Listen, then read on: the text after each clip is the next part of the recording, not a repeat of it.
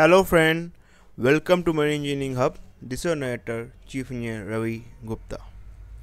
Today we will talk about pressure vacuum valve and after that we will talk about mast riser and then we will talk about the PV breaker. In today's video we will talk about the, these three things which are fitted in an inert gas system as a safety arrangement. In today's video we will see how the PV valve work how the PV breaker work and how the mast work and after that I will talk about the maintenance which are done in the PV valve and the PV breaker. Friends, Marine Engineering Hubs is a platform which make video which will be beneficial for your examination, interview and for your oral purpose. So please do subscribe.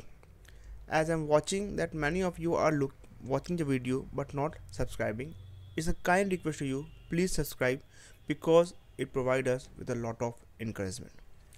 So if you want to watch the video which are yet to be released you can join our channel by minimum fees. So let's start the video of pressure vacuum valve mast and PV breaker. So first let us look at a diagram of a inert gas system. So this is a boiler uptake where the flue gas will come. It will pass through scrubber after scrubber, it will go to a gas blower and from gas blower, it will go to a pressure regulating valve and through deck seal, it will come to a deck. Now in deck, there are three arrangement which we are gonna talk about. The first is the PV breaker. The second is the mast riser and third is the PV valve. So these are the three safety arrangement which are fitted and on which main question are asked.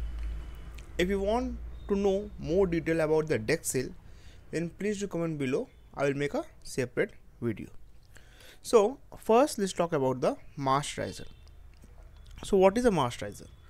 So basically if you are carrying a homogeneous cargo, in that case the mast riser will become handy. How? Before that you need to understand the arrangement now the inert gas inert gas is coming here okay. And after that it is going to each tank from here okay. Now at time of loading at time of loading we are filling up the cargo tank and we are not taking the inert gas because the tank are already inerted so now what will happen? Now suppose first scenario that 50% cargo has been loaded. So at that time the inert gas which is there is slowly slowly will be venting out from the PV valve. And if the loading rate is fast and if the PV valve cannot cope up then the exhaust gas or the sorry the inert gas will come from here and will go out from this mast riser like this. One more time I'll tell you. Now suppose if the loading rate means suppose if the cargo is coming here is so fast is so fast that the inert gas which is coming out from the PV valve is not sufficient to maintain the safety pressure. In that case the inert gas will come out from the common inert gas line and will vent out from this mast riser. So this system is basically applicable in case if we are carrying a homogeneous cargo. What do I mean a homogeneous cargo? Basically if you are in a crude oil tanker in that case what will happen? That normally suppose this is one tank this is one tank this is one tank. So this is the inert gas line. So if the pressure in particular line particular tank is increasing from a common inert gas pipe system. Means from here it will go from here and from here the mast it will vent out. So the mast is a type of a valve which act as a safety device and which release the pressure inside the cargo tank by releasing the excess pressure. This come handy in a crude oil tanker which are fitted with a homogeneous cargo and the mast riser is basically consisting of vertical pipe fitted with a common venting pipe line arrangement. Now this is the crude oil tanker and as you can see this is the one mast riser and maybe this may be also one more second. So if your pipeline is big enough it may happen that you may get one or two mast riser or vent riser. So basically it's look like this. It will go and it will vent out from here. Okay the the gas will come and it will vent out from here. This is a flame arrestor which is provided so that it will arrest any flame. So this is how this mast riser work. Now we'll talk about the pressure vacuum valve so what is the pressure vacuum valve? So pressure vacuum valve and PV breaker are the two things which are fitted in a system. Before talking about this you need to make sure that you understand this both concept clearly. The PV valve is provided on a top of the cargo tank. Now suppose in the individual cargo tank there is a PV valve. But PV breaker will be provided in a line of a inert gas system. It means that there might be one or two PV breaker, but there will be minimum one PV valve for each cargo tank. So this is the basic difference. So PV valve is what a safety device we install why to relieve the excess pressure or vacuum condition inside a cargo tank whereas the PV breaker work is same is to release excess pressure or vacuum condition in the inert gas system pipeline. It means that PV breaker is being provided to relieve excess pressure which is being generated in this inert gas line. Now if anybody asks how it will happen, so basically suppose there is a cargo tank and the inert gas is coming from here the inert gas is coming from here and suppose you forget to open this cargo isolating valve for the particular cargo tank so what will happen? That if a mast riser is valve is closed suppose or if the rate of exit rate of exit is not sufficient in that case the pressure will build up in the line. So that will be relieved with the help of this PV breaker how to relieve? We'll talk about later. So this is the work of a PV valve. Now let's see the PV valve. Now PV valve what will happen? It will come from here. Now suppose the cargo tank is here. The cargo tank is here and the pressure is exceeding. So it will come from here and it will pull the flap up and it will come out from here. Now suppose the second condition if there is a vacuum inside the tank if there is a vacuum inside the tank it will get lift up and the air will get inside the tank from here. So if pressure is too much it will come from here and it will get exit from here like this okay? And if it is consisting of vacuum it will go like this. Bottom we are talking about the cargo tank. Now let's see working principle. So as i told you the main working principle if in examination they ask you what is the working principle of a PV valve you say the first is the pressure regulation. How? It allow to enter air or exit without a predefined limit. It means that there is a set pressure for a pressure and a vacuum and within that limit if it exceed or if it decrease in that case it will allow the valve to open. The second is that vacuum prevention. Now it help to prevent the pressure drop in such a way that it does not allow to have a vacuum formation inside the tank. Now if anybody asks you why vacuum formation is dangerous for a cargo tank, let's, let's suppose this is a cargo tank and it is going inside a vacuum condition. So what will happen? it will shrink like this it will shrink like this means it will get bulge in so if it get bulge in it will damage the structure of a cargo tank so in order to prevent that the vacuum condition need to be prevented. So the first is the pressure regulation the second is the vacuum prevention and third is the pressure equalization. It means that if the pressure inside the cargo tank is increasing too much in that case it will equalize it by venting it out. So the importance of PV valve is that it protect it from getting over pressurized and vacuum condition. Means if the vacuum condition is inside the tank exit it will open up and the air will go inside this. Now as you can see there is a mesh provided. This mesh is called flame arrestor. This is the valve lid which is been adjusted by a spring force which will get lifted up depending upon the setting. And this is also adjusted by a spring force. So a basic design look like this.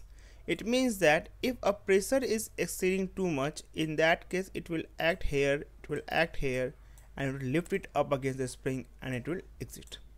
Now if a vacuum condition is rising if a vacuum condition is happening so what will happen? It will exit on top top and as in bottom there is a less pressure it will pressurize it downward and it will get inside so this is how it works so if anybody asks you what is the importance of PV valve the PV valve importance is to prevent from overpressurization structural damage and ensure safe operation of the cargo. So basically these are the keyword in PV valve. 1, 2, 3, 4. One is the pressure regulation, second is vacuum prevention, third is pressure equalization, fourth is structural damage. So these are the keyword you must use when you are talking about the PV valve. So this is the thing which I am talking about that if the pressure is increasing it getting relief from here and if the vacuum it coming like this so it acting as a cargo safety providing stability and trim and helping the environment and protecting the environment because because it is reducing the environmental hazard. Now let's talk about how a PV works so where the PV breaker the PV breaker is provided in this inert gas pipeline and it look like this. So it is a miniature of a seal okay means seal principle also is same like this. So it act as a backup. If p valve fail to regulate the pressure it will help it causes the tank to prevent from getting damage and how let's talk about that now suppose these are the cargo tank inert gas valve, individual cargo tank inert gas valve. Now, if this is closed, in that case, and if the inert gas is open, so what will happen? The inert gas will flow here. It will it will not able to go from here, not able to go from here. And suppose if reservoir valve is closed, so the pressure will get built up in the line. So that will be relieved by help of a PV breaker one scenario second scenario is that now suppose now suppose that okay one valve two valve and all other tank valve are open and the inert gas is gushing out in such a way that even if the PV valve is open and mast riser is open the pressure in the line is increasing. One more time I'll tell you. Suppose the loading rate is so fast the loading rate is so fast that the inert gas which is coming out from PV valve and mast riser are not able to cope up the pressure which are getting built up in this inert gas pipeline in that case PV breaker will work so if anybody asks you why the PV breaker is provided the PV breaker is acting as a pressure regulation or pressure equalizer in a inert gas pipeline. How? Now let's see. now suppose the pressure inside the tank is increasing the pressure inside the tank is increasing now you are seeing this pipeline this one okay. So this is here it is coming. It will go here it will push the water column down and it will have a capillary action and the water will come out from here. So acting as a pressure equalizer. Now if the vacuum condition build up the opposite will happen. The air will come from here and will go here and after that it will from here it will go up and then it will go down. So the air is coming from here it's getting here and then it is flowing from here and then going out. So it is acting as a equalizing the pressure in the inert gas pipeline. So this is the work of PV breaker.